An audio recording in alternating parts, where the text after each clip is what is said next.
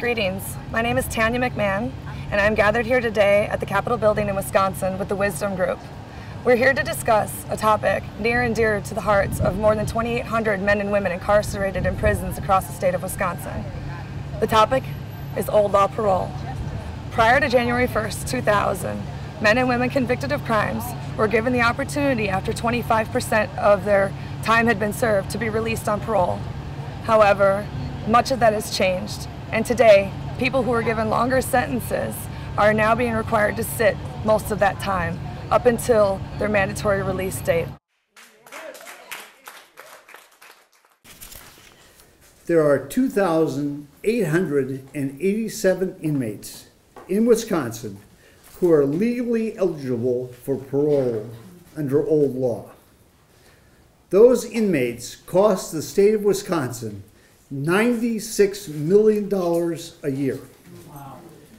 It is completely, completely within the authority of the governor, the secretary of corrections, and the parole commission to fix this broken system. We are here today to talk to the attorney general, the secretary of corrections, and other statewide leaders because the governor will not talk to us.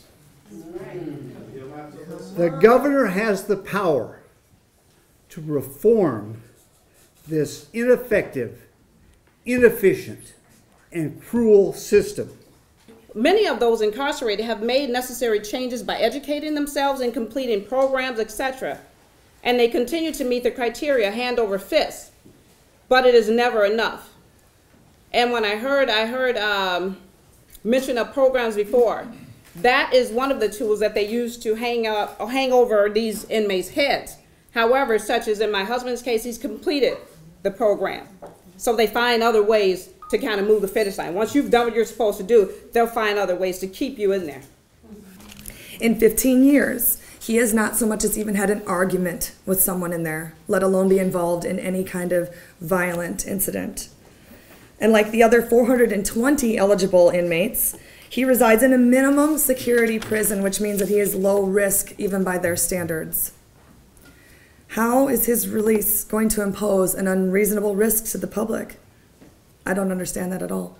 Hi, my name is Andrea Brown. I'm here today at the Capitol just coming from a press conference, the 11 by 15 Wisdom Conference. Um, I have a loved one that's been incarcerated for 27 years. He was eligible for parole after 13 years and six months. He's been up for parole 11 times, only for them to tell him that he has not served sufficient amount of time and that he remains a risk to society.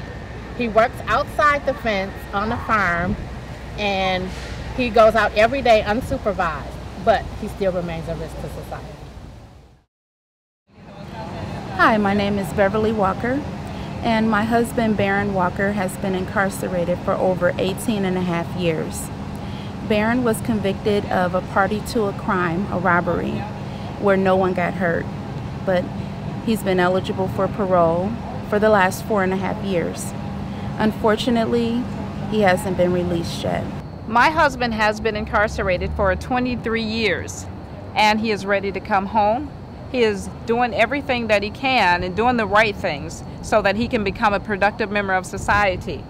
So we're here urging the Department of Correction today to give some of these old law inmates an opportunity to come out and be among society to give back in any way that they can.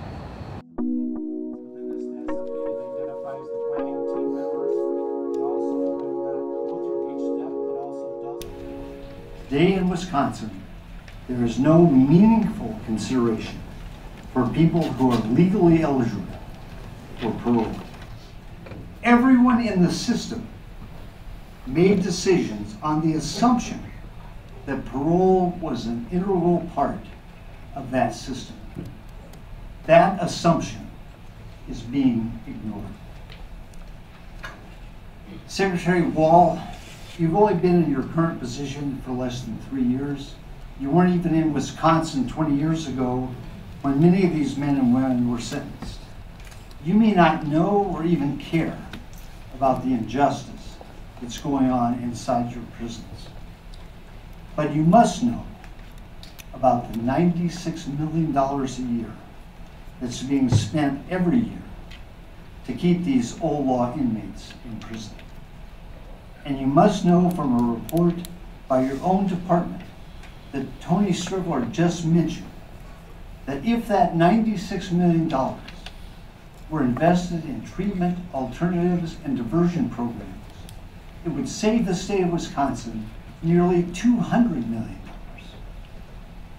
That's data, data that this council must care about.